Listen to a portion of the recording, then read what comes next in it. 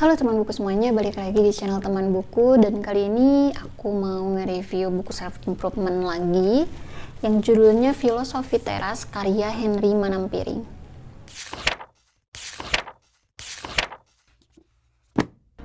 Nah, pernah gak sih kamu dikritik kayak, eh kok lu lebay amat sih?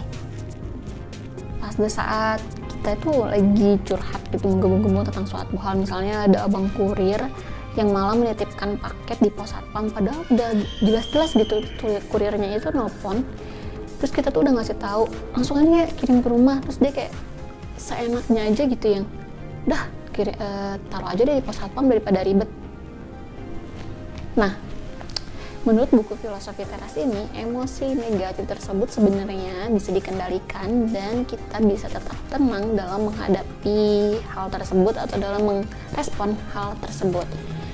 Jadi ya udah nggak perlu lagi deh dengar bilang lebay kan kesel ya. Gitu malah udah mencurhat, udah tahu kesel kita mah dibikin kesel gitu kan. Nah, si filosofi teras atau stoicisme sendiri sebenarnya pertama kali dikenalkan oleh Zeno, yaitu seorang filsafat Yunani yang gambarnya mana ya? Gambarnya si Zeno. Ini kayak mirip-mirip ini deh. Nah, dalam ajarannya ini uh, Zeno ini mengajarkan untuk mengatasi emosi negatif dan kita itu harus selaras dengan alam. Nah, kalau misalnya kalian baca filosofi teras, maksudnya deng selaras dengan alam adalah menyelaraskan uh, kita hidup kita. Hidup kita ini sebenarnya di dunia ini tuh untuk apa sih? Misalkan untuk bekerja atau untuk uh, merawat tanaman. Nah, itulah kita harus selaras dengan alam.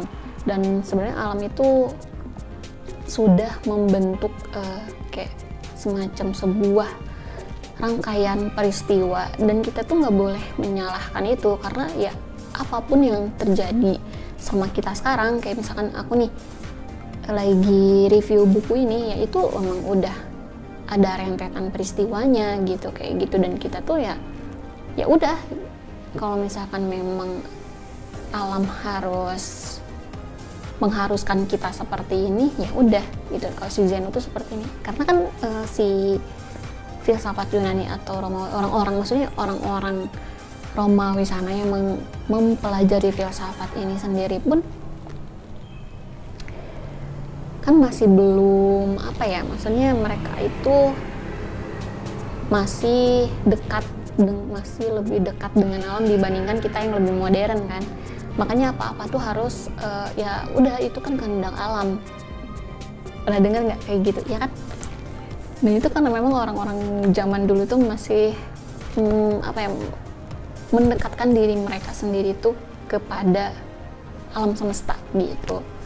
Nah dalam buku ini sendiri sama Henry Manamferingnya itu diperkenalkan dengan dikotomi kendali atau kemampuan untuk memisahkan hal-hal yang ada di bawah kendali kita dan juga hal-hal yang ada di luar kendali kita terhadap sebuah masalah. Maksudnya di dalam sebuah masalah itu kan pasti ada hal-hal yang memang di bawah kendali kita dan ada yang di luar kendali kita. Misalkan nih, yang tadi masalah si abang kurir tadi. Apa sih yang ada di bawah kendali kita? Ya kita kan nelfon abang kurir. Minta tolong dong eh, bang kurir dikasihin ke rumah, jangan dititipin pos satpam. Tapi si perkara si abang kurirnya oke okay.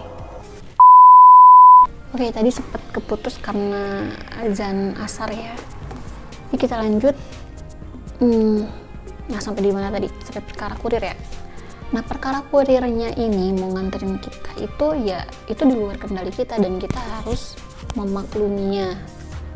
Ya tapi simpelnya itu sih memakluminya. Jadi kita nggak usah lagi yang namanya marah-marah. Kita tuh bakalan lebih tenang dalam menghadapi permasalahan-permasalahan kecil maupun besar. Kalau misalnya kita itu bisa menguasai dikotomi kendali ini. Dan ada juga prinsip, prinsip star yang berguna saat kita menghadapi emosi negatif jadi kita itu akan lebih terfokus dalam uh, mencari solusi daripada fokus terhadap si masalah itu sendiri. Nah kalau soal ini sih harus baca bukunya ya, tapi secara sederhana aku bakalan jelasin di sini. STAR ini maksudnya stop, think, and access, respond. Jadi pada saat kita menghadapi emosi negatif, misalnya nih kita terjebak macet, udah mah kita harus buru-buru ngantor, terus macet kan kesal tuh pasti ya. Nah apa sih yang bisa kita lakukan selain dari si dikotomi kendali ini? Yang pertama itu kita harus stop atau berhenti. Begitu kita merasakan emosi negatif, kita harus berhenti dulu Nah, kalau udah kayak gitu, lanjutkan dengan think and assess, itu dipikirkan dan dinilai. Setelah itu, kita respon menggunakan nalar. Karena kalau nggak begitu, kita nggak bakalan rasional dalam menghadapi atau mengamati situasi. Oh ya, udah selesai. Jadi kayak gitu penjelasan singkatnya. Nah, ketika kita sudah bisa menerapkan itu semua dan menyelaraskan diri kita dengan alam atau dengan situasi yang ada, maka kita akan hidup dalam ketenangan dan bebas dari ne emosi negatif itu. Walaupun misalkan tadi aku udah bilang contoh-contohnya itu yang sebenarnya sepele ya.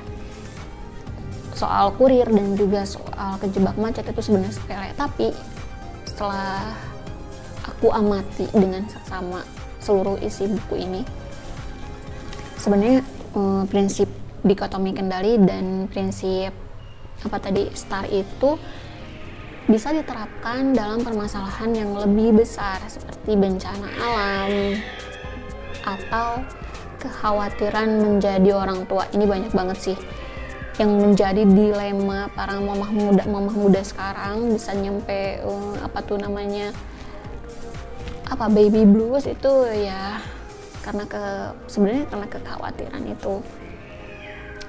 Secara gak apa ya garis besar ya. Walaupun misalkan gak semua sih. Nah baca buku ini tuh sebenarnya nggak berat. Aku malah dibuat ketawa sama beberapa yang bahasa yang nyeleneh.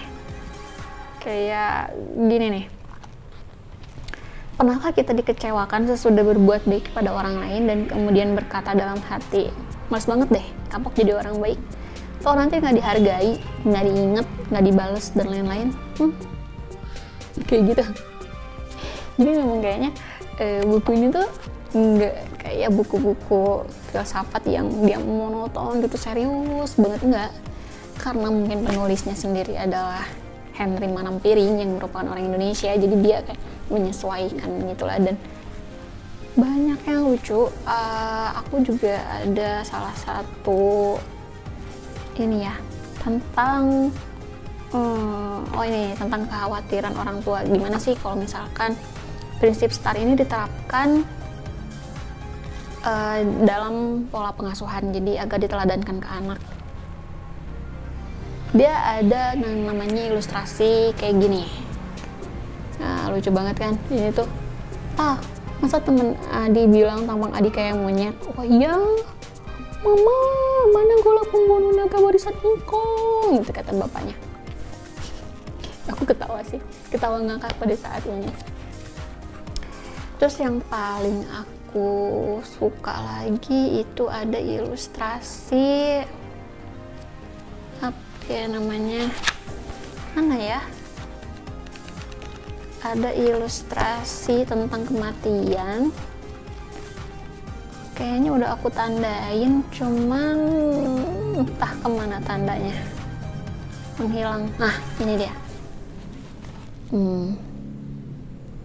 mungkin sebagian orang kan akan khawatir ya. Lu gimana nih kalau misalkan besok kita mati tapi kalau misalkan kita udah memahami filsafat stoicisme sendiri kita nggak bakalan lagi seperti itu. Kita akan uh, berdamai dengan kematian sesuai dengan ilustrasi tadi.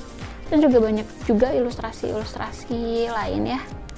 Kayak ilustrasinya apa nih? Seneca. Dan ini diilustrasikan oleh Levina Lesmana ilustratornya bagus banget sih menurut aku ya. Ini juga ini tuh Victor apa ya apa James oh ini tentang James Stockdale. Di sini juga nyebutin Victor.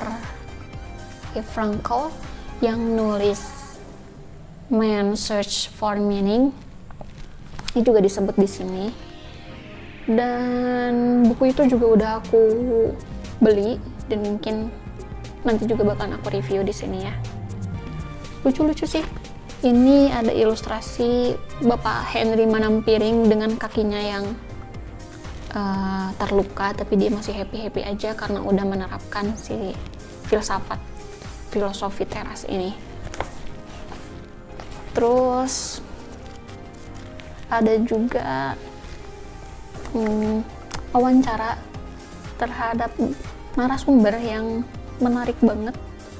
Ini ada wawancara dengan Lia Salasabella terus ada wawancara dengan uh, dokter psikologi terus ada dengan Kania Kania Cita. Ini menarik banget sih. Jadi buku ini tuh kayaknya wajib banget buat dibaca sama anak muda sekarang tapi bukan cuma sama anak muda karena filosofi teras ini bisa diterapkan di semua kalangan menurutku gitu. jadi gimana kalau menurut kalian coba tulis di kolom komentar ya. Oke paling kayak gitu aja review kali ini dan sampai jumpa di video selanjutnya. Bye bye